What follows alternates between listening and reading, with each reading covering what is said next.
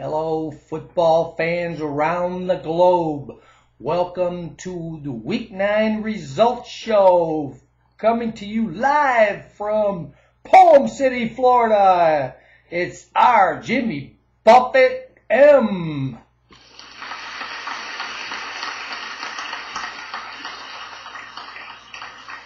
All right, all right, all right. First of all, I'd like to uh, congratulate uh, Dee uh, for stomping all over Kevin Monday night. Uh, that was a heck of a game, and I mean one heck of a game. Uh, it it came down to Monday night. It came down to the second half. It came down to the fourth quarter with minutes left. Not like I stayed up to watch it, but you know what? Uh, Philly thought they had it wrapped up, and Chicago, Chicago, the Bears, the Bears came through. What a defense them Chicago Bears have. But you know what? I, I got to give uh, D credit. Uh, not too many people picked Chicago. Most of us went with Philly. Uh, some way more than others. And all I got to do is look down at the bottom feeders this week to tell you who those are, including yours truly. Uh, but D, you know, she she made a heck of a, a, a pick there with Chicago with nine. I mean, um, most people. All right, I take that back. Rebecca uh, had 11 on him. I mean, uh, uh, most Michelle felt she had four, but everybody else had, had Philly. I mean, it was a heck of a week to pick that upset because I know Philly was favored in Philly, and there was no way in God's green earth that the Bears were going to win that game, but they did and D came out the champion of week nine. Doggy, it was a, it was a dogfight though. I mean, she pulled in 97 points. Poor Kevin, he's watching from D.C. Him and his lovely fiancee Michelle, cooking them steaks, drinking them brewskis, watching the Bears against the Eagles. And you know what? I know Philly's uh, Kevin was jumping up and down on the couch every time Philly scored, but uh, what was he doing when uh, uh, Vic got intercepted? Michelle was jumping up and down on the couch.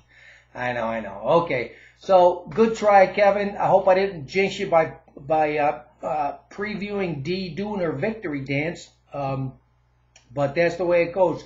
That's the way it goes. Uh, D, again, congratulations. Uh, 97 points. Kevin Polson second with a 95. Then we got Big Dane with 94. Maribel, Mary Beth Nielsen deserves another drink. Mary Beth Nielsen Schmielsen comes in with a 93. Ah, Rebecca Peitsch comes in with a 90. I mean, look at these scores. 92. Michelle Felt 91. I mean, she she made the top five or six for week nine. Denise, you know, anytime you see Denise up in the top 10, you know it was Upset City. You know it was Upset City. Followed uh, uh, Adam Winter, followed Denise, uh, then Dave, who was, is ready to give up football completely. Uh, and then uh, Dave's mom, Sherry, she comes in with an 86. And that's just pretty much rounding out the top 10. So good job, everybody. Uh, I mean, the, the whole weekend was full of upsets. And I'm, and I'm going to scroll down to the bottom of the pack here, and we're going to see Art Peach.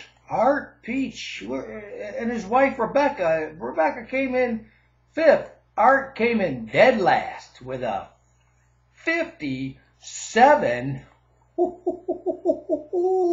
57. Art, good job, buddy. Letting your wife walk all over your face. Who's just ahead of Art Peach is my dear brother Glenn. Glenn. Glenn comes in with a 58. Not too much better is Jerry W. Jerry W., a 60. You ought to be ashamed.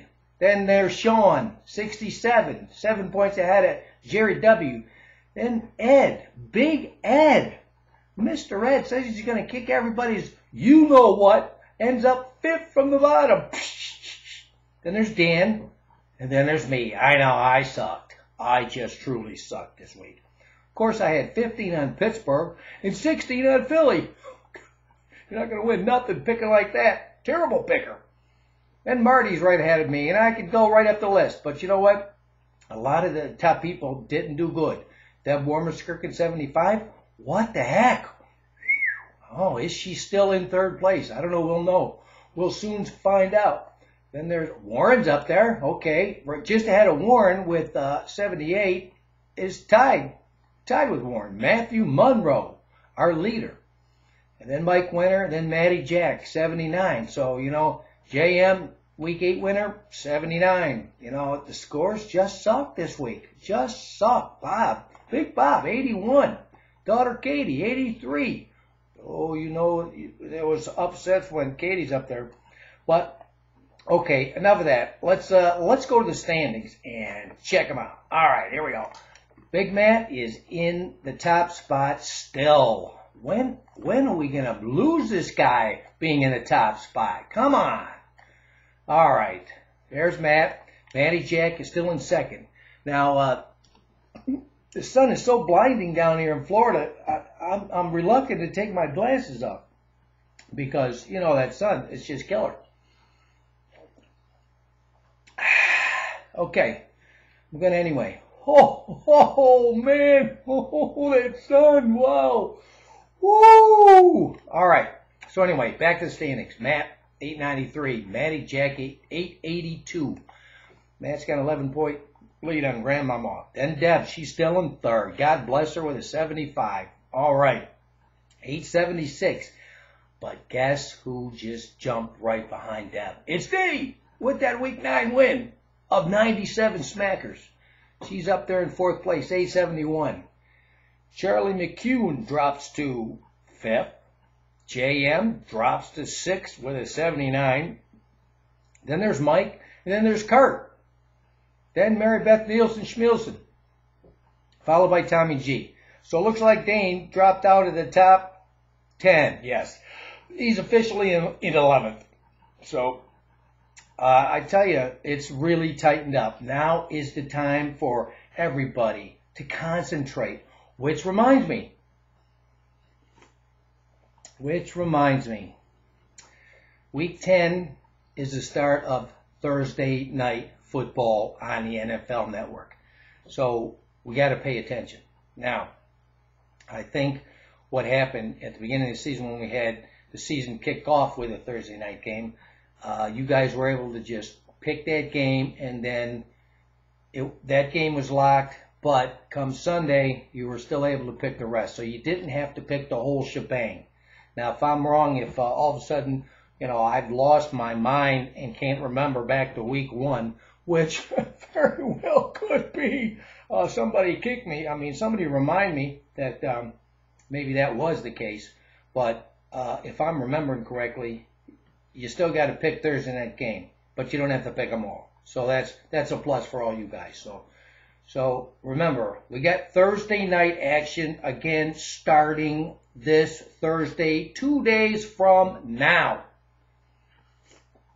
Okay, so that uh, that being said, um, I, I'm pleased to uh, uh, say that I've gotten more checks in, and I appreciate it. I appreciate it very much. Um, Brittany Monroe sent me her money. Mike Winter and Charlie McEwen sent me their money.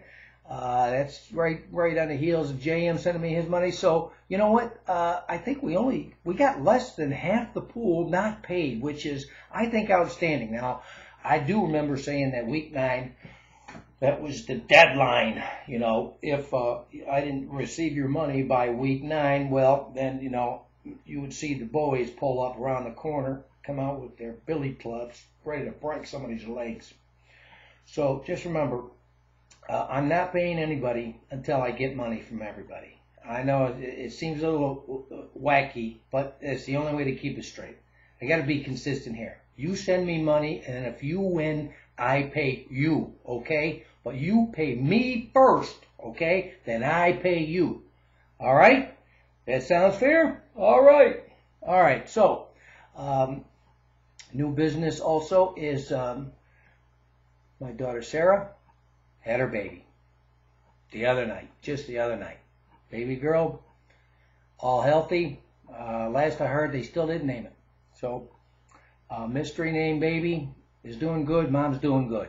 So um, I know we got a couple more coming down the road uh, with uh, Katie and um, I don't know. I don't know who else all pregnant. You know, I, it doesn't matter. We're we're playing football here. Come on, let's play football. All right, so that's it. So hasta la vista, baby. Ciao.